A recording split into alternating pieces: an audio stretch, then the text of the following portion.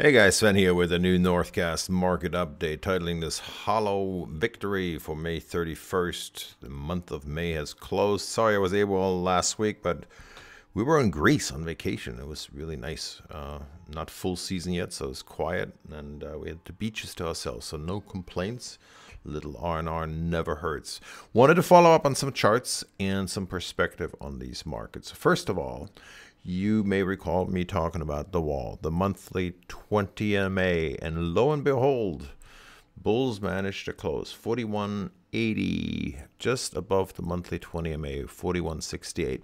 So recall, I said that that's a key measuring stick, whether you're in a bull market, a new bull market, or whether you're still in the bear market. I also said, very important addition to this, we need to see a sustained move, a move that builds on this and then defends the monthly 20 MA on any back tests. We're not there yet. I mean, this is this is maybe well you want to claim it the initial victory, if you will, a close above it, and then if you close above it and you can defend it, then yeah, you can make the case. You know, this was all a big flag and we broke out and off we go to the trend line here which is around you know, 43 4400 depending on when you hit it. That was the case i made in an interview i believe with Wealthion about three months ago before the banking crisis.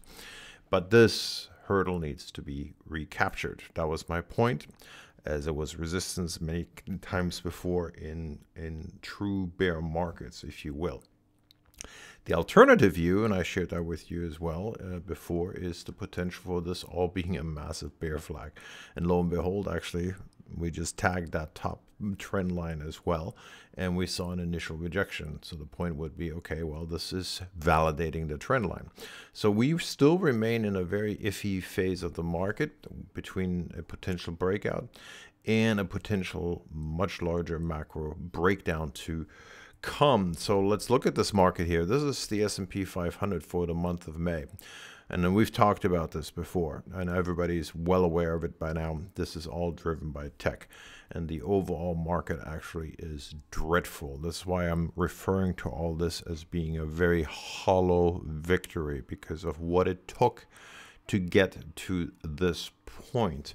In fact, if you look at the performances of the main indices for the month of May, S&P 0.25%. You know, everybody keeps talking about breakouts, and new bull market. What's that? That's nothing. It really isn't. Small caps down almost 1%, Dow down 3.5%. It's tech, tech, tech, tech in a few stocks, right? Up 7.6%. The Wilshire being the larger index, uh, up 2.5% driven by tech. But if you look at the broader NYSE, which doesn't have tech in it there as much, down 4%.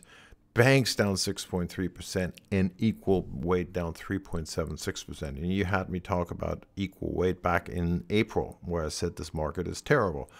In May has shown it continues to be terrible. It got worse. In fact, if you look at this chart here of equal weight, you know, this potential head and shoulders is still there. I mean, the shoulder may be getting long in the tooth, if you will, but guess what? Today we closed right on the neckline. How is that a new bull market? It's not. It's it's it's dreadful, and this it just speaks to the complete underperformance. It's the worst underperformance we've seen in the underlying stocks vis-a-vis the index since the year 2000. It's quite the story. So, you know, for all the bullish rah-rah, I just like to point this out. You know, today the S&P on month of May closed below the February high it closed below the May 1 high. You know, this is just not a confirmed breakout at all. You know, and it has the potential still, I suppose, but this could also turn into a failed breakout. Bulls need to get across the 20 MA and stay above it and defend it. And what's interesting is that what it took to get there. I think that to me is, is really interesting. I mean, we've seen all these stocks. I'll just use a couple examples here. Microsoft going absolutely vertical outside the daily Bollinger Band. That's yesterday's close, by the way. And of course, we all know about NVIDIA going nuts. And on all these stocks adding, you know, trillions of dollars in market cap, cap combined apples within a few bucks of all-time highs. These stocks are smoking hot overbought and completely stretched thin. And so you have to then ask yourself, okay, well, a couple of questions. One is, how is that sustainable without a pullback, you may ask? and I'm not even going to go into the fundamentals of AI. I'm just talking technically here. And then two, uh, how are you're going to get further on the S&P without the broader market participating. You need the broader market to participate. And, and it's not only in the broader market uh, outside of tech, it's inside of tech as well. I've shown this chart before, the advanced decline index on, on the NASDAQ vis-a-vis the NDX 100. Uh, there, has been absolutely no improvement during the entire month of May. In fact, we just made new lows. So, what you hear in terms of bullish narratives, let's be absolutely clear and honest here. The if if you take out the top eight, ten tech stocks, everything is still in a bear market. Nothing's changed on that equation.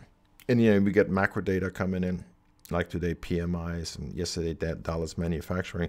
What what is the bullish story here? I mean, the, these numbers are showing dreadful declines still, and that's before we actually get the full impact of lag effects. You know, you you may get the chasing of, hey, maybe the Fed's going to pause or what have you, but the fundamental picture is still what it is, right? And that's this is what the broader market is reflecting, in my view. That's why you don't see that follow through. So all this may be really deceiving.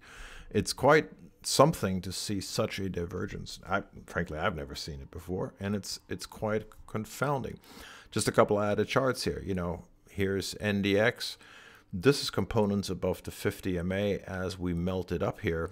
Well, you know, we got about half of components actually above the 50 MA, and it's gotten weaker and weaker from rally to rally in 2023. I mean, just compare it to where it was in February, 78. Now it's at 52. It's even worse on the S&P. Closed the month with 70% of components below the 50 MA. Vis-a-vis February at 75. That you know, how, how do you reconcile this? What you're you basically seeing here is that price, as you know, so much, so greatly influenced by you know seven, eight stocks this is completely deceiving. Basically, what this says is without these seven, eight stocks, the index would actually below, be below the 50 MA. That's a very different picture. So it's, it's a very confusing time. And let me put NDX here a little bit in perspective as well.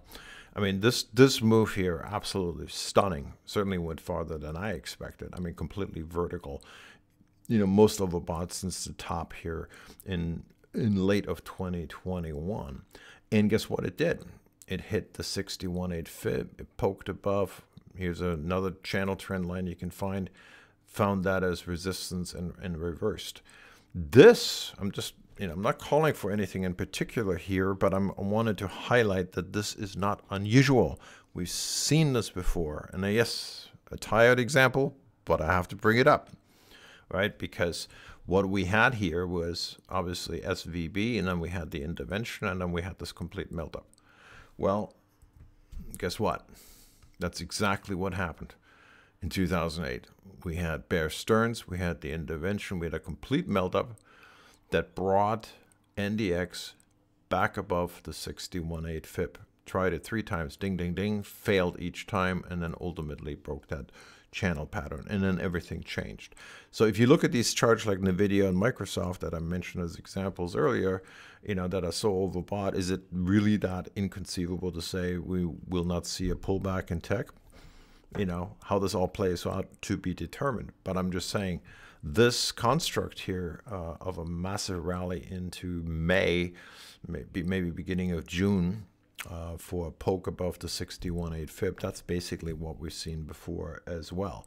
So before everybody gets hyper bullish about you know the possibilities here, be warned this could all turn bad as well. So nothing is is really decided here at this point. In June, you know, we're gonna have another Fed meeting. We have CPI. We, you know, the, the same spiel again, but no longer any earnings reports.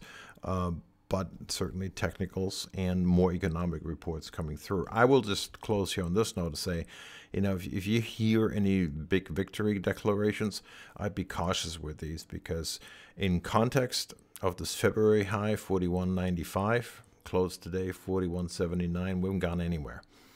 Not at all. This May 1st high, 41.86, closed below that. You know, this uptrend here is not broken. We had a little fake out break last week, but notice, you know, the algos are respecting these trend lines. This is all tightening. Um, there's a lot more that has to be negotiated through, and bulls really need the market to broaden out. Um, with tech this overbought in these big key important components. And so far, at least, there's no evidence of the market broadening out, not even into month end, which was kind of interesting. See what happens in early June. There's some positive seasonality and there's some weaker seasonality. Fed meeting, I think it's going to be a really, really interesting month in June, how this all shakes out, where the bulls can confirm that breakout above the monthly 20 MA or whether this is going to result in miserable failure. Anyway, that's just kind of my highlight thoughts here. If you want to join us on the journey, on the details, uh, you're free to join us via the website, Daily Market Brief, live action alerts, or market videos. Hope that's helpful, and I uh, hope you guys all had a good month of May and good luck in June. Take care.